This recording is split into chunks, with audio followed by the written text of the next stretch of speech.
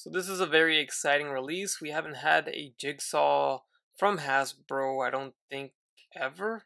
Correct me if I'm wrong. I don't know if they did it in the early days, but uh, the last time I recall seeing a Jigsaw was Toy Biz Marvel Legends. So it is nice to finally see him in you know in an updated form.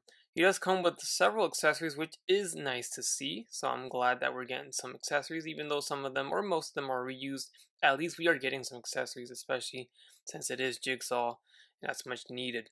So there's the front of the package. Here's the side image, which is pretty nice. I really love the art there. And then the backside just shows him once again. It's just a single release as an exclusive, so there is no wave. But there is a read up that reads Jigsaw is a criminal with a heart as twisted and gruesome as his once beautiful face. So here is Jigsaw out of the package. Looks like he is on the suited body. It looks like it's the upper torso from the Hellfire Club and maybe the lower torso, or the legs I should say, of either just the regular suited body or also the Hellfire Club. But nothing here is new. We have pinned knees and pinned elbows. Uh, but overall, it's uh, pretty clean. We have some paint with the handkerchief there. We got some paint here on the buttons and the uh, buttons over here as well. Of course, the head sculpt, we'll get into that. Uh, and then you can see the black under undershirt slash tie. So there is Jigsaw. One thing that I unfortunately realized upon taking them out, I always when I take out a figure out of the package, I always move all the joints and the right leg thigh swivel is completely like I think it's glued because it's it does not want to budge. I tried to twist it as hard as I could and I almost popped the entire leg off the ball joint here in the groin. So this thigh swivel does not want to swivel. My my left one does no problem. But this one literally is molded, stuck there forever because I swear it's gonna break if I if I go any further.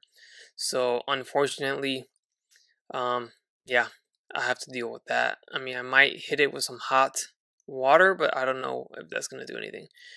Anyways, let's go ahead and proceed. So first up, he comes with a silver bat, which is cool. It's painted silver. It's got some black here for the handle. I appreciate it. So um, I guess this is supposed to be a metal bat because no wooden bat is silver. So we have a metal bat here. And then we also will get a big, massive machete. So this is cool. We got some paint detail on the blade and on the handle itself with some buttons there or some, you know, bolts. So I appreciate the paint details always. So that looks great. And then proceeding on, we have a knife. Not only do we have a knife, but we have two knives, same same mold. Silver paint for the blade, black for the handle. No complaints there. And then we get a sawed off shotgun, which we've seen all these accessories before, but these are just different painted accessories. The top here I don't know what's going on there, but of course I get a QC issue on my on my figure because it's mine. I you know I have to have something. It's just never perfect. But here is the handle, black, underbarrel is black, and then it's silver, uh, metallic-ish molded plastic for the actual barrel. And then what's cool is that they included in the the effects that they they released before, but we don't get them as often as I as I wish. So these are for, of course, shotgun It's the only gun he has. So you can put it, it's a double barrel. So you should be able to put two. It's a little tight squeeze. So there you go. Or if you don't want these, then we get the almighty smoke effects, which I love. So this will give off the scene that he just got done firing the actual weapon. And if I can get it in, I can show you guys. There you go. So we got a little smoking effect coming from the shotty. So very cool. I appreciate all the accessories that he comes with. Um, especially coming off the reviews of the Bonebreaker, Build a Figure Wave, and those figures were lacking in accessories. It's a it's a nice, refreshing, um, you know, feeling to to have a figure that comes with quite a bit of accessories. All right, so I'm sure the majority of us have seen the fantastic head sculpt, but if you haven't, here is the phenomenal, tremendous head sculpt on Jigsaw. Literally one of the best head sculpts I've seen in quite a while. They really went in on this. You can tell this is they're digital printing on a comic-based figure. Um, if I super super zoom in, and I don't know if I'm able to catch it, but let's bring them closer. Um, you can see the detail more, but you can also see a little bit of graininess, a little bit of pixelation on the teeth there, and that is due to the digital printing. Um, if you pretty much look at any Star Wars SH Figuarts figures, you'll see a lot of that because they do use the digital printing, and it's even more pixelated on those figures, or grainy, I should say. Here's not too bad, honestly. It's just when you get super, super up close. But other than that, really, I mean, it's not a big deal. I love the scars. I love the stitches, the uh, the bandages, or the butterfly stitches, or whatever he has going on. He's got it all over, and it's all painted. It's all detailed. It looks fantastic. Even in the hair, even the back of the head here. Look at that gash. Pretty gnarly. This is a fantastic head sculpt. It looks great. Really, it, it, it really does. So now going down to the torso, you can see this little neck piece around his neck. That is removable. If I pop the head off, you can take that off and have him without it if you want. And he looks like that. And then this would be removable, but uh, you would have to, I think literally you would have to rip it open or break it or cut it. And then it wouldn't make sense because his undershirt is, is black, but then the sleeves are, are molded on there. So it'd be white sleeves from the jacket with a regular, you know, polo shirt, black underneath. It just wouldn't make sense. Um, so I'm not gonna bother doing any of that stuff here. But here's a closer look at the suit and the legs. Nothing, uh, you know, not much to look at, but there's a close look anyways. Alright, so as for his articulation, his head sits on a ball jointed hinge, as you see right here. Uh, it's going to get hindered when you have the collar on. But of course, if you take it off, you have a little bit more range. So he looks up, up until the back of the head hits the uh, back of the jacket. But still, it's still a good angle looking up. Looking down, pretty deep because of the hinge. Left and right, no problem. A little bit of head, uh, sorry, a little bit of head tilting there, which is pretty cool. And now if we put the collar back on, then let's see how limited he gets. So looking down is going to be impossible now. Looking up, it's still pretty decent. Left and right, no problem. And then head tilting is a little bit more limited now. So overall, it's much more limited with the collar on. Now the arms are going to go forward all the way around. In and out, no issues there. Bicep swivel, double jointed elbows, swivel at the wrist with a side hinge. So that's great because that's where he holds the weapon. Now he actually has a side hinge on both the wrists, even though this is just a knife grabbing hand. Uh, he would have a ab crunch, but it's of course covered by his jacket that is not removable. So um, you're not really going to utilize that at all. You do have a waist swivel at the waist, of course, and then legs will kick forward and back. They go in and out.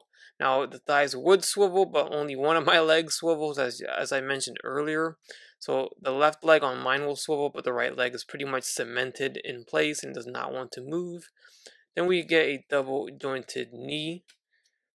And then for the ankle, we have an ankle hinge, a rocker at the foot, and then we also do get an ankle swivel, which is kind of uncommon nowadays. Alright, and real quick before we get into the height comparisons, I just want to show him holding his actual weapon.